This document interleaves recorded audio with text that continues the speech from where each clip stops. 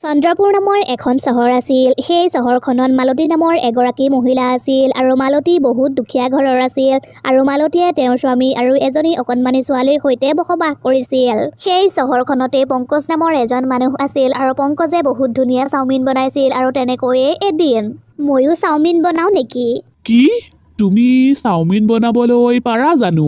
বনাবলৈ নাজানো কিন্তু শিকিবতো পাৰিম। বাহিৰত বিক্ৰী নকৰিলেও ঘৰত অন্তত বনাই মই মোৰ ছোৱালীজনীৰ মনটোতো ভাল কৰিব পাৰিম। তাৰ পাছত ৰাতি তাই চাওমিন বনালে। মা তুমি দেখোন বৰ ধুনীয়াকৈ চাওমিন বনাইছা। মই যে বাহিৰৰ পৰা আনো একদম তেনেকুৱায়ে হৈছে। হৰিয়ে মালতীক এখন চাওমিনৰ দোকান খুলিবলৈ ক'লে আৰু মালতীয়ে মান্তি হৈ ঘৰৰ বাহিৰতে এখন চাওমিনৰ দোকান খুলিলে। লাহে লাহে মালতীৰ উপাৰ্জন বাঢ়িবলৈ ধৰিলে আৰু তাই এখন ৰেষ্টুৰেণ্ট খুলিলে আৰু তাতেই তাই চাওমিন বনালে। সেইবোৰ দেখি পংকজৰ বহুত খং উঠিল আৰু সেইবাবে সি তাৰ ল'ৰাটোক পঠিয়ালে। পংকজৰ ল'ৰাটোৱে সকলোবোৰ গম পাই আহি দেউতাকক ক'লে যে মালতী নামৰ এগৰাকী মহিলাই বহুত ডাঙৰ ব্যৱসায় আৰম্ভ কৰিছে। সেইবোৰ শুনি পংকজৰ বহুত খং উঠিল। তাৰ পাছত পংকজে মালতীৰ বিৰুদ্ধে ষড়যন্ত্ৰ কৰিবলৈ ধৰিলে আৰু সি এজন ত্ৰান্তিকৰ ওচৰলৈ গ'ল। ত্ৰান্তিক বাবা আপুনি মোক অকণমান সহায় কৰক। মোৰ ওচৰলৈ সকলোৱে সহায় বিচাৰিয়েই আহে। ক তোৰ কি সমস্যা হৈছে? বাবা এগৰাকী মহিলা আছে আৰু সেই মহিলাগৰাকীৰ বাবেই মোৰ উপাৰ্জন কমিবলৈ ধৰিছে। আপুনি এনেকুৱা এটা কিবা কৰক যাতে সাপো মৰক আৰু লাঠিও নাভাঙক। হৈ যাব যা। কাইলৈৰ পৰা তোৰ সকলোবোৰ আগৰ নিচিনা হৈ যাব। কিন্তু তই মোক ইয়াৰ বিনিময়ত এটা ভাল বস্তু দিব লাগিব।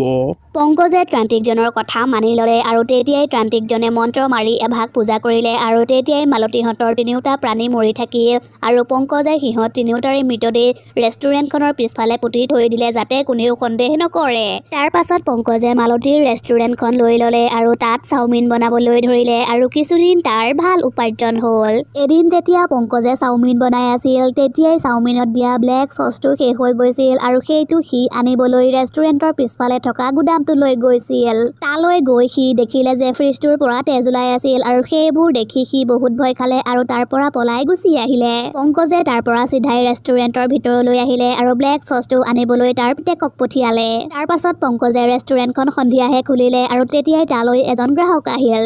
আৰে ভাই ইয়াত থকা মানুহগৰাকী কলৈ গ'ল? তেওঁ কিন্তু বহুত ধুনীয়া চাওমিন বনায়। আচলতে সেই মহিলাগৰাকীয়ে এই ৰেষ্টুৰেণ্টখন মোক বিক্ৰী কৰি দিলে। কওকচোন আপোনাৰ কি কাম আছে?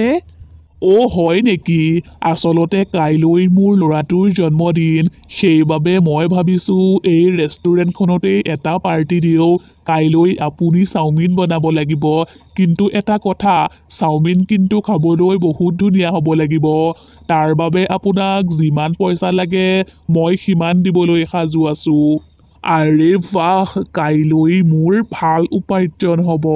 এইটো সুযোগতে কেইটকামান উপাৰ্জন কৰি লোৱাটোৱেই ভাল হ'ব। পিছদিনা ৰাতিপুৱা পংকজে চাওমিন বনালে আৰু তেতিয়াই তালৈ এজন মানুহ আহিল আৰু পংকজে সেই মানুহজনক চাওমিন দিলে। কিন্তু তেতিয়াই তালৈ চোৰেলজনী আহিলে আৰু চাওমিনখিনিক বতাহত উৰুৱাবলৈ ধৰিলে। সেইবোৰ দেখি মানুহজনে বহুত ভয় খালে আৰু তাৰ পৰা পলাবলৈ ধৰিলে। তেতিয়াই অন্য এজন মানুহে চাওমিনখিনিত চচ দিবলৈ আহিছিল আৰু পংকজে যেতিয়াই মানুহজনক চচ দিবলৈ ধৰিলে তেতিয়াই চোৰেলজনীয়ে চচখিনি মানুহজনৰ মুখত পেলাই দিলে আৰু মানুহজনৰ পংকজৰ ওপৰত বহুত খং উঠিল। কিছু সময়ৰ পাছত এগৰাকী মহিলাই চাওমিন খাবলৈ আহিলে আৰু পংকজক চাওমিন খুজিলে। দাদা মোক এক প্লেট চাওমিন দিয়কচোন। পংকজে যেতিয়া মহিলাগৰাকীক চাওমিনখিনি দিবলৈ ধৰিলে তেতিয়াই চোৰেলজনী পংকজৰ শৰীৰত সোমাই গ'ল আৰু চাওমিনখিনি মহিলাগৰাকীৰ মূৰলৈ পেলাই দিলে। আৰে এইবোৰ আকৌ কি অসভ্যালি? আপুনি মোৰ গোটেই কাপোৰযোৰেই লেতেৰা কৰি পেলালে। ৰ'ব আপোনাৰ কমপ্লেইন মই এতিয়াই কৰি আছোঁ। এইবোৰ মোৰ লগত কি হৈ আছে বাৰু? মইতো এনেকুৱা একোৱেই কৰিবলৈ বিচৰা নাই। আচলতে এইবোৰ কোনে কৰি আছে বাৰু? সেই পাৰ্টিটোৰ মালিকজনৰ কথাবোৰ শুনি বহুত খং উঠিল আৰু তেওঁ পংকজক ক'লে ঐ তই এইবোৰ কি কৰিছ? আৰু মোৰ আলহীবোৰৰ লগত এনেকুৱা অসভ্যালি কিয় কৰিছ? মইতো তোক ইয়ালৈ চাওমিন বনাবলৈহে মাতিছিলোঁ। মই তোক ভালে ভালে কৈছোঁ তই এতিয়া ইয়াৰ পৰা গুচি যা। মই আৰু তোক ইয়াত এনেকুৱা অসভ্যালি কৰিবলৈ নিদিওঁ। আৰু মই তোক বাকী কামবোৰৰ এটকা পইচাও নিদিওঁ। পংকজে একো নকলে আৰু নিৰাশ হৈ তাৰ পৰা গুচি গ'ল। পিছদিনা যেতিয়া পংকজে ৰেষ্টুৰেণ্টত চাওমিন বনাই আছিল তেতিয়াই তালৈ এটা পৰিয়ালে চাওমিন খাবলৈ আহিল। ভাই এইফালে তিনি প্লেট চাওমিন দিবাচোন আৰু বেছি জ্বলা নিদিবা কিন্তু। পংকজে চাওমিন বনাই আছিল তেতিয়াই পটককে গেছটো বন্ধ হৈ থাকিল আৰু পংকজে কিবা উপায়েৰে চাওমিন বনালে আৰু তিনি প্লেট চাওমিন লৈ গ'ল। তেতিয়াই তালৈ চোৰেলজনী আহিল আৰু চোৰেলজনীয়ে লেং মাৰি পংকজক পেলাই দিলে আৰু পংকজৰ হাতত থকা চাওমিনখিনি মানুহকেইজনৰ গাত পৰিলেগৈ আৰু গাত চাওমিনখিনি পৰাৰ লগে লগেই তেওঁলোকৰ বহুত খং উঠিল আৰু তেওঁলোকে পংকজক ক'লে ঐ তই এয়া কি কৰিলি? আমি তোক চাওমিন খাবলৈহে খুজিছিলো গাত পেলাবলৈ নহয়। তই তাৰ মানে গ্ৰাহকক এনেকৈ সেৱা কৰ। তই তাৰ মানে একো কামেই কৰিব নাজান আৰু তই যে আমাৰ কাপোৰবোৰ লেতেৰা কৰিলি তই ইয়াৰ পইচা দিব লাগিব। যা তই ভালে ভালে পইচা লৈ আহগৈ। তোৰ এই ৰেষ্টুৰেণ্টখনলৈ আমি আৰু কেতিয়াও নাহোঁ কাৰণ তই গ্ৰাহকক কেনেকৈ শুশ্ৰূষা কৰিব লাগে সেইখিনিয়ে নাজান। ব'লা ব'লা আমি এতিয়া ইয়াৰ পৰা যাওঁ। তাৰ পাছত মানুহজনে পংকজৰ পৰা পইচা ল'লে আৰু তাৰ পৰা বকি বকি গুচি গ'ল আৰু কিছুদিনৰ পৰা হৈ থকা ঘটনাবোৰৰ বাবে পংকজ ভিতৰৰ পৰা ভাঙি পৰিছিল আৰু সি এঠাইতে বহি ল'লে আৰু ভাবিবলৈ ধৰিলে। তেতিয়াই তাৰ পিতেকে চিঞৰাৰ শব্দ আহিল। দেউতা দেউতা ক'ত আছা তুমি? সোনকালে এইফালে আহা। আমাৰ দোকানখন জ্বলি গ'ল। সোনকালে এইফালে আহা। আমাৰ দোকানখন এতিয়া জ্বলি শেষ হৈ যাব। সেই সকলোবোৰ চোৰেলজনীৰ কাম আছিল। চোৰেলজনীয়ে ৰেষ্টুৰেণ্টখন জ্বলাই দিলে আৰু তেতিয়াই তালৈ কিছুমান মানুহ আহিলে আৰু জ্বলি থকা ৰেষ্টুৰেণ্টখনত পানী ঢালিবলৈ ধৰিলে। জুই নুমাল কিন্তু দোকানখনৰ সকলোবোৰ বস্তু জ্বলি শেষ হৈ গ'ল তেতিয়াই তালৈ এজন বুঢ়া মানুহ আহিল। পংকজ মই লক্ষ্য কৰিছোঁ কেইদিনমানৰ পৰা তোমাৰ দোকানখন বহুত বেয়া গতিত চলিছে। মোৰ এনেকুৱা লাগিছে তোমাৰ দোকানখনত কিবা বেয়া বস্তুৰ ছায়া আছে। তুমি এটা কাম কৰা তুমি এজন ত্ৰান্তিকৰ ওচৰলৈ যোৱা। পংকজে পলম নকৰাকৈয়ে দৌৰি দৌৰি সেই ত্ৰান্তিকজনৰ ওচৰলৈ গ'ল আৰু সকলোবোৰ কথা ক'লে।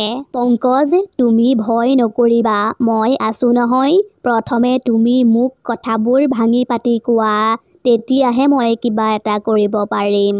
ত্ৰান্তিকজন ৰেষ্টুৰেণ্টখনলৈ অহাৰ কথাটো চোৰেলজনীয়ে গম পালে। সেইবাবে চোৰেলজনীয়ে তাইৰ যাদুৰ শক্তিৰে ৰেষ্টুৰেণ্টখনৰ চাৰিওফালে জুই লগাই দিলে। সেইবোৰ দেখি মানুহবোৰ তাত জমা হৈ গ'ল আৰু তেতিয়াই চোৰেলজনীয়ে ভিতৰৰ পৰা চিঞৰিবলৈ ধৰিলে। যিয়েই এই ৰেখাডাল পাৰ কৰি আহিব সিয়েই মৃত্যুৰ মুখলৈ আহিব। সেইবাবে ভালে ভালে কৈছোঁ তহঁত ইয়াৰ পৰা গুচি যাগৈ। এই ৰেষ্টুৰেণ্টখন মোৰ আছিল আৰু সদায় মোৰেই হৈ থাকিব। তেতিয়াই পটককে বতাহ বলিবলৈ ধৰিলে আৰু আকাশখন ক'লা মেঘে আৱৰি ধৰিলে আৰু তেতিয়াই চোৰেলজনী ত্ৰান্তিকজনৰ সন্মুখলৈ আহিল। চোৰেলজনীক দেখি মানুহবোৰে বহুত ভয় খালে আৰু চোৰেলজনী দেখিবলৈ বহুত ভয়ানক আছিল। চোৰেলজনীৰ শৰীৰটো নীলা আছিল আৰু চোৰেলজনীয়ে পংকজৰ ফালে বহুত খঙেৰে চালে আৰু তাক ক'লে এইটো মোৰ সকলোতকৈ ডাঙৰ শত্ৰু। ইয়াক মই যেতিয়ালৈকে নামাৰোঁ তেতিয়ালৈকে মোৰ আত্মায়ে মুক্তি নাপায়। তই মৰিবই লাগিব। চোৰেলজনীয়ে বহুত খঙেৰে পংকজলৈ চাই থাকিল। এই দুষ্টটোৱে মোক মাৰি পেলালে। সি যদি মোক অকলে মৰা হয় তেতিয়াহ'লে মই তাক ক্ষমা কৰি দিলোঁহেঁতেন। কিন্তু সি মোৰ ফুলকমলীয়া ছোৱালীজনী আৰু মোৰ স্বামীক মাৰি পেলালে। আৰু বিশ্বাসঘাতকতা কৰি মোৰ ৰেষ্টুৰেণ্টখন নিজৰ কৰি ল'লে। চোৰেলজনীৰ কথাবোৰ শুনি তাত ৰৈ থকা মানুহবোৰে পংকজৰ ফালে আচৰিতভাৱে চালে আৰু কথাবোৰ শুনি ত্ৰান্তিকজনেও মনত বহুত কষ্ট পালে আৰু তেওঁ ভাবি চিন্তি চাই চোৰেলজনীক ক'লে। তুমি পংকজক একো নকৰিবা তোমাৰ লগত যি হ'ল বহুত বেয়া হ'ল। কিন্তু মই তোমালোকক মোৰ ইচ্ছাৰ শক্তিৰে তোমালোকক আকৌ আগৰ নিচিনা কৰি দিব পাৰিম। তাৰ পাছত ত্ৰান্তিকজন তাৰ পৰা গুচি আহিলে আৰু পংকজো ভয়ে ভয়ে তাৰ পৰা গুচি আহিলে। তাৰ পাছত চোৰেলজনীয়ে তাইৰ পৰিয়ালটো লৈ অন্য ঠাইলৈ গুচি গ'ল আৰু সেই ঠাইখনতো চোৰেলজনীয়ে চাওমিন বনাই বিক্ৰী কৰিবলৈ ধৰিলে আৰু লাহে লাহে তাইৰ উপাৰ্জন ভাল হ'বলৈ ধৰিলে।